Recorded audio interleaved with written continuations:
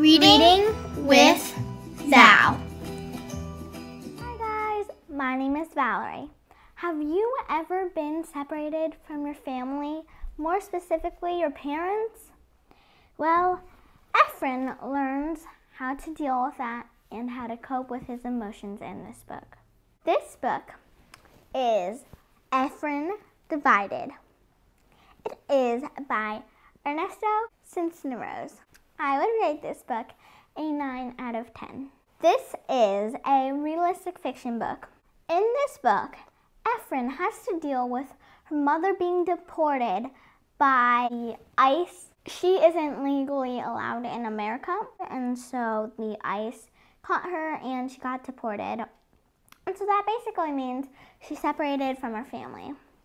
And during this time, Efren's dad needs to work extra long shifts because they don't have enough money for Efren's mom to come back. And Efren needs to take care of his little brother and his little sister and their twins, Max and Mia.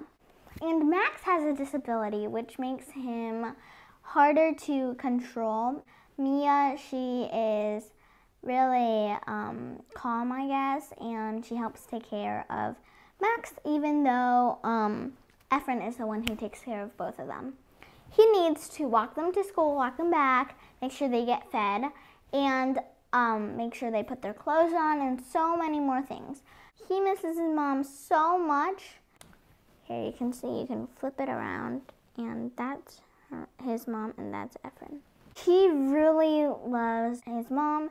Even though they are poor, his mom makes them feel special and She's really nice to everyone, and she's actually my favorite character because of those few reasons. Efren also has to deal with friend issues and just like school issues. He's a student, he needs to go to school. He's like 10, 11, 12, around middle school age. I think that he's really brave and really responsible.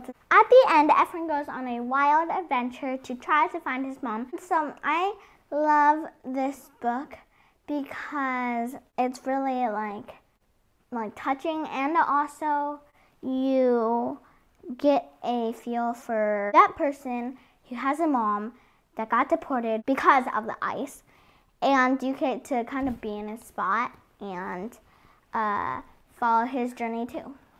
I would recommend this book to kids between the ages 9 through 11.